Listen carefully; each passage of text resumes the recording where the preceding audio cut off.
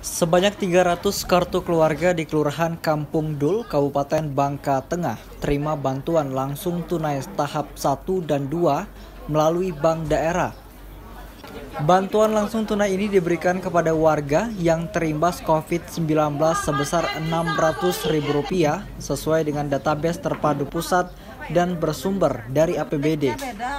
Orang yang terdampak COVID-19 Pak, seperti buruh-buruh harian buruh harian pas, pegawai-pegawai yang kalau di kelurahan dulu seperti ini yang di bandara-bandara apa yang dirumahkan atau di PHK yang kami kan dekat bandara itu banyak melapor kepada kami bahwa kami diberhentikan pak kami dirumahkan lah istilahnya. Maka kami melalui RTT kami data kami usulkan kebetulan dari APBD Kabupaten mendapat bantuan. Jadi mereka kami masukkan untuk mendapat bantuan.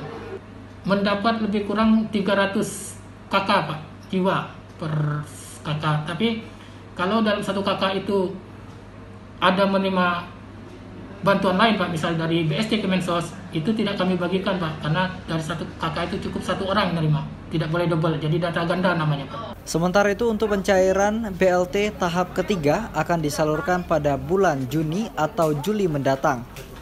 Dari Bangka Tengah, Agus Andriansyah TPRI Bangka Belitung melaporkan.